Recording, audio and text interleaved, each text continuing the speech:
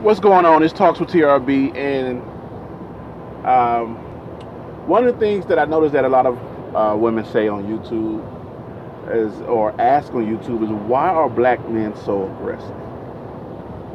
Why are we so quick to fight, fuss, rebuttal, degrade? Why are we so quick to jump to the defensive?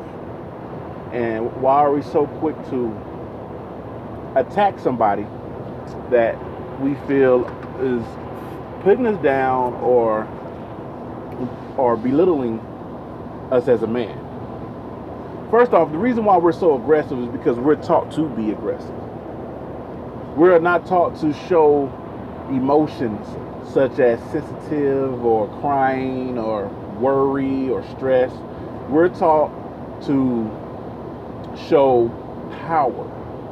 That's what our women want. That's what society wants. That's what our friends, family want. And we are a product of our, our society. We're a product of our neighborhood. And the reason why we're so aggressive because we have to be. That's how we feel. We feel like in order to show what a man is, we have to stand tall. And we have to knock down doors. And we have to we have to be go get it. We gotta go get it by any means necessary. We gotta go get it. And sometimes you have to be aggressive when it comes to whatever it is that you want to get. You have to you have to attack and dismiss anybody that's in your way to get whatever it is that you want. So we're naturally aggressive because that's what that's how we were raised. That's what we were told a man is. A man is not supposed to cry. A man is not supposed to show affection and emotions. A man is supposed to be hard, tough, that's what manliness means in our neighborhood. You know, you got to be able to to defend whomever. You got to be able to fight. You have to be able to let people know that you are not the one to be fucked with. And that is what we're taught growing up. Now, people have their different views on on on black men and aggression. Some people say the aggression is good because whatever it is that we believe in, we believe in wholeheartedly, and you are not going to change that. Or whatever it is that we want to do, we're going to do it, and you're not going to stop that. But when you are somebody who shows what's considered weakness in the hood or in the neighborhood that you grow up in, you are labeled as that. You are seen, you are looked at as less than. You are not looked at as a protector you're looked at as a pussy, plain and simple. so we are aggressive because that's the way that we talk. We're taught to be aggressive.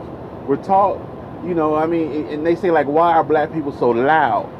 It's because we are used to being around people that are loud. We express ourselves, and when we do get excited, our voices get high, you know, and we get loud, and that's why black people are loud. That's a that's a way of showing or getting your point across when you're dealing with people that's loud. so we got to get louder than them. We got to be more aggressive than them. We have to be uh, stronger than them. We have to be harder than them. We have to be more gangster than them. That's just what we're taught and how we're raised. Think about it. When you see a little boy crying, what does his parents tell him? What are you crying for? Stop being a punk. Stop being a pussy. You a man. Are you a man? Yes, I'm a man. Then stop crying. Men don't cry. We don't show emotion. That's why we die early. That's why we die early because we keep a lot of shit bottled up. And then when we do show emotions, women hit us with shit like, oh, that's his true colors. Like anger is the only way to show a true our true colors is by being aggressive and angry. Oh, now he's showing his true colors. Despite all the things you ever did, soon as you get aggressive and start snapping, now he's showing his true colors. Or you will get this when you do start showing emotion because you're passionate about something or something is bothering you or hurting you. You know, you get people to say, "Why are you being so sensitive?" Why? What do you mean, big country? That's what they say. That's what I've been told. When I do start to show emotion such as sympathy or sad or confusion or passion, why are you being so sensitive? When I feel like that shouldn't be something that we should have to deal with. If you have an emotion that you want to express, you should be able to express it. But because we cannot express it, we don't, and we're not trained on how to express, and we don't understand the emotion that we're having because it was never pointed out. Oh, you're depressed, or you're feeling this way. You don't. We don't get the, the. We don't have the people to tell us this is that type of emotion, and this is why you're feeling that emotion, and we keep it bottled up. And now instead of it turning into a particular emotion that could be that can come and go, it turns into aggression, and we get angry, get frustrated because we're confused on how to deal with the emotions that we have that were not accepted in the in the lifestyle that we grew up in. So, next time a man starts to get emotional about something, let him get it out. Whatever it is, let him get it out and try to understand what it is that made that man feel a certain way and help him to understand why he feels that way. What is this feeling? What is it? Because you're not going to get that at home. At home, you you feel a certain way about something. You're sensitive. You're a punk. You're a pussy. Stop crying like a little bitch. That's what we get.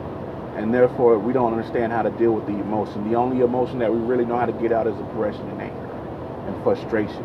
And all those emotions anger, frustration turns into hostility. If I even use that in the proper context, but uh, it turns into it turns into aggression because we don't know how to deal with or handle the emotions that we're feeling in. And it's all because of the way that we're raised. So you ask you ask us why we're so aggressive. It's because we don't properly understand the emotions that we're feeling and we don't know how to deal with the emotions that we're having. And the only way that we know how to bottle them up, push them to the sides by using aggression to get them out. But here's the thing. Even when we try to get them out, and even when we try to speak about it, it turns into it, it turns into aggression because we're frustrated with whatever situation is going on and we cannot understand how to process that emotion. Simple as that. Now you're like, oh, that don't make sense. Think about it. Think about it. If we understood how to deal with life and emotions and, and different situations that come along, we, we wouldn't be looked at as aggressive but then again, if we did start to cry and worry, become sensitive, we will get looked at, talked at, talked about, put down, shunned, pushed to the side. I mean, it is what it is. It is what it is. Anyway, it's the right brother. Talks with TRB. Hopefully, get the, the gist of what I'm saying. Might to go into this way station. I'll holler at you. Peace.